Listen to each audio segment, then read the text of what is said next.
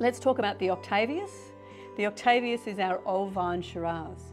So like the Grenache, Shiraz was one of those very early varieties that was planted in the Barossa. Um, and in fact, the oldest vineyard in the Barossa was planted in 1843 and it's still growing and still producing wine. Um, we don't own that vineyard, but the oldest vineyard in the Octavius was planted in 1854. Um, it's a blend of, of vineyard, uh, vineyards from the Barossa Valley floor and also the Eden Valley. So we're getting lovely perfumed, more cool climate characters from Shiraz, things like sage and rose petals um, from the Eden Valley, and then that lovely sort of plushness from the Barossa Valley. All of these wines, all of these wines, in fact, all of the wines that we make at Yalumba, when we release them, they're, they're ready to drink. You, you, you don't need to age any of these wines.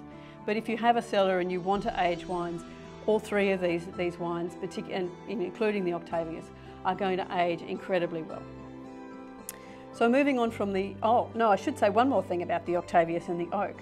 Um, the name Octavius comes, comes from the size barrel that we use to, to make this, uh, to age this wine. So an octave, which holds about 100 litres, is a barrel that's exclusive to, to Yalumba. Uh, we started making them in the, in the late um, 1980s, um, and the Octavius is the that we use um, you know, to, in, in those barrels. So quite a unique size, gives a, a slightly different sort of, you know, fingerprint of, of oak to this wine. Although, even having talked about the oak, you know, the primary thing you're going to see in here is that beautiful, generous Barossa Shiraz.